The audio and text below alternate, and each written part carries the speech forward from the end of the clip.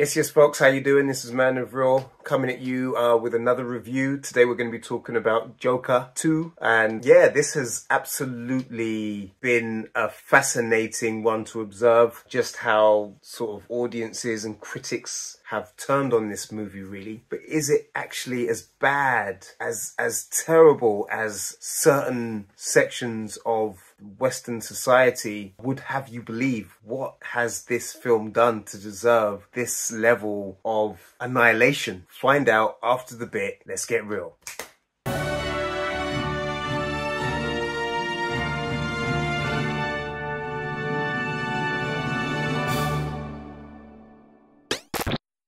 So yeah, I'm gonna go straight into this really with my thoughts. I went to see this with my friend, big up to Sam, what's good? And I went from having high expectations for, to them considerably dropping, you know, plummeting even. I'm just gonna share my thoughts. That's what I'm gonna do here, you know, uh, and you can sort of make up your own mind based off of that. Starting with the music. The music, in my opinion, uh, serves two purposes in this movie. The first is to give a subject matter and story that would otherwise be thoroughly grim and entertaining hook and entry point entertainment wise. Kind of like what action sequences do in action movies, the part they play, so to speak. The other more consequential reason is to illustrate in real time the inner workings of Arthur Fleck's disturbing yet poetic reality in full delusional grandeur, which only serves to add to the aching tragedy of this character.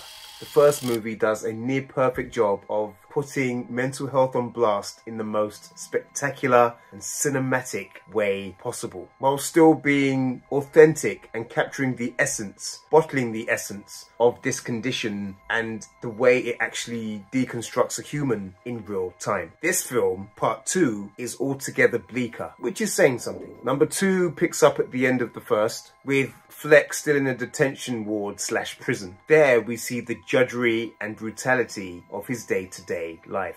It is there where he eventually meets an inmate who he forms a romantic connection with, giving Fleck real hope for perhaps the first time in his entire life. But as we know, hope can often be an extremely dangerous thing. Or at least that's what Morgan Freeman taught us in The Shawshank Redemption.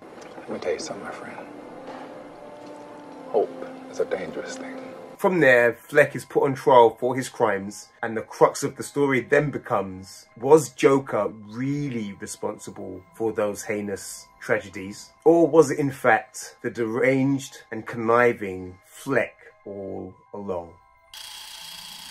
In the first film, Fleck is a deranged and lonely guy who's pushed too far. And his breaking point, though extreme, was one that millions of people around the world who saw the film ultimately related to, making him an anti-hero that you could root for, ultimately. This is all done in the vein of a Travis Bickle in Taxi Driver, which the film's framing and aesthetic are definitely paying homage and tribute to.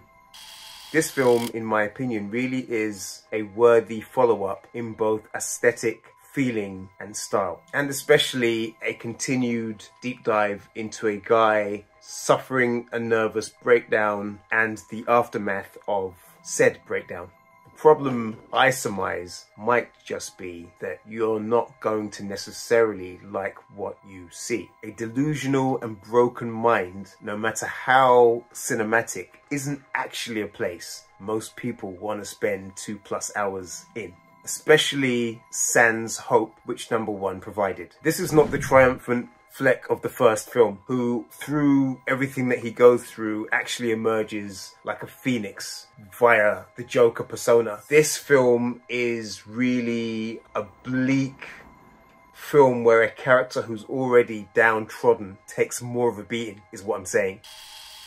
Much has been said about the singing and the dancing and those sequences in general. Here's what I have to say about that. Whether you like them or not, they are literally the visual representation of Arthur Fleck's mind and mental state, and therefore absolutely necessary to the framing of this story. Those sequences literally are how Fleck's sees the world. Like, literally. They are one bit of colour and splash in Fleck's otherwise unbearable world, both for himself as well as us, the audience. For all those reasons, I think they work and I think they work well. You can argue whether there are too many of them and you can argue, you know, within the details of that, but ultimately they work.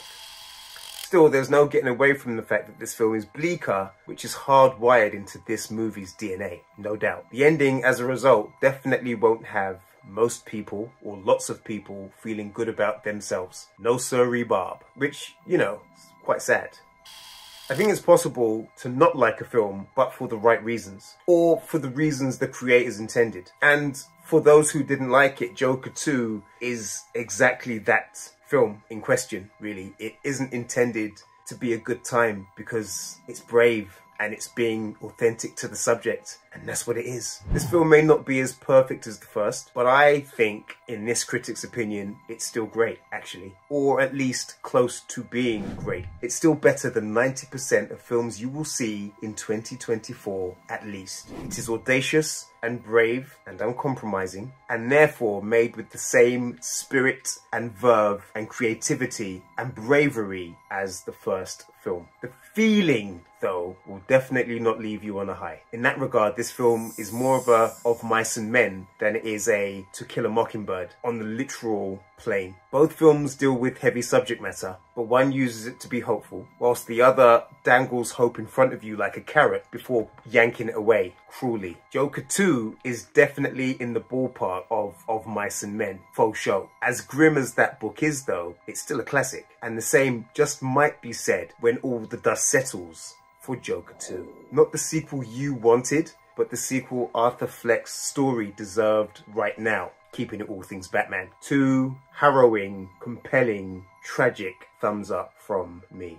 But what did you think, folks? Do you thoroughly disagree with me? Were you one of the audience members who famously walked out? Did you enjoy it? Do you not want to say? Leave your comments below. If you like it, you like it. You feel what you feel. That's what movies are all about. I, I do not. I fundamentally disagree with the critics on this one and a lot of audience members as well. I think they sort of missed the point. I leave space to be wrong, that said. You know, I've only seen the film once and there's every chance I watch the film again at some point and I go, oh, that's what they were talking about. And hopefully the people who've really disliked it and critics particularly will leave space for the same you know, it might just be a great film. And I and I came away thinking this is was close to great, and I came away thinking as bleak and just and just raw as this film is. And I think it was probably too much for people, to be honest. They just did not want to see two and a bit hours of just a beating, a beatdown of a character, mentally, physically, you know, emotionally, but doesn't take away from its greatness or, or its or its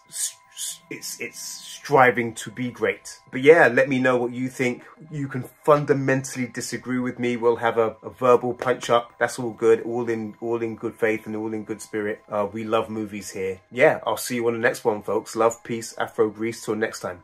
Boom. You can do anything you want. You're